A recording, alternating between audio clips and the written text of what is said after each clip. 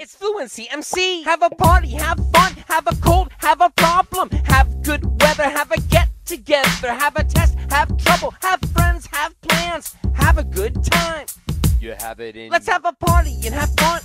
We'll have a blast. You'll have good memories of Collo class. You can have a problem that doesn't last, like when you have a cold, but get over it fast. My name is Jason R. Levine.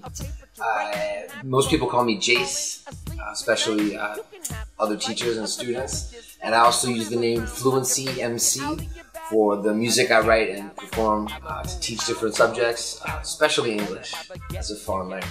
I'm here with the English Specialist Program, and um, it's a two-week program full of workshops with, with teachers and uh, classes with students and uh, it's very exciting because we've been planning it a long time. But uh, as exciting as as excited as I was, I, I hadn't prepared myself for the really warm welcome I, have gotten from uh, Tunisian people and uh, the great response and uh, the workshops and the classes.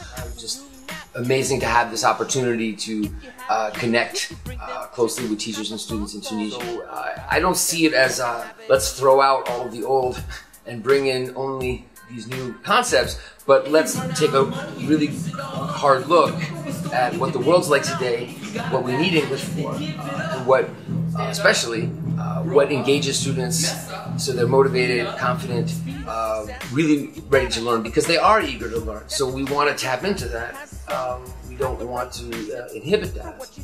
Uh, so I think preparing teachers in this way, supporting teachers in this way is, is huge. And I think uh, as far as learners, what we need to do, um, besides what I just said about helping them, uh, we need to really recognize uh, their learning styles, you know, what they bring to the classroom, their situations, whether it's uh, cultural, uh, you know, their family's resources, where they live. I mean, all these factors in how people learn, uh, if we're going to, and we will, uh, use these new materials uh, as well as old to engage them.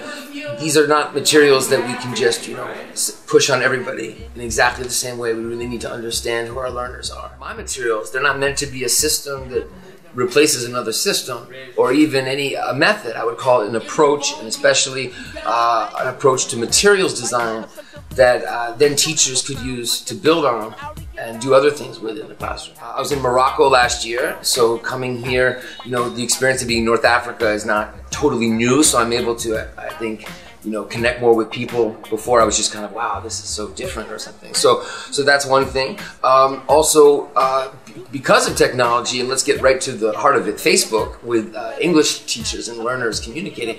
You know, I'd met. Uh, through Facebook and, and develop relationships, especially uh, with one particular teacher, Anissa Ba. Um, she and I really built the page I have on Facebook. So through her, as a, she's a Tunisian teacher, uh, I met other Tunisian teachers and students. Uh, so coming here was was uh, more than a welcome; it was almost like a reunion of sorts. So uh, you know, I'm, I'm always I'm always excited by you know whatever uh, young people are with if uh, as a teacher, but people here are, are yeah very I would say very smart. That's my impression. Uh, very uh, open-minded and, and, interested in uh, learning things in different ways on different levels. And so, as you can imagine, for for a teacher who's developing materials like that. Uh, it feels I feel very at home here. Hey Tunisia, I'm pleased to meet you. For nearly a year, I've been waiting to meet you. What a wonderful treat to be invited here. The future of ELT to me is quite clear.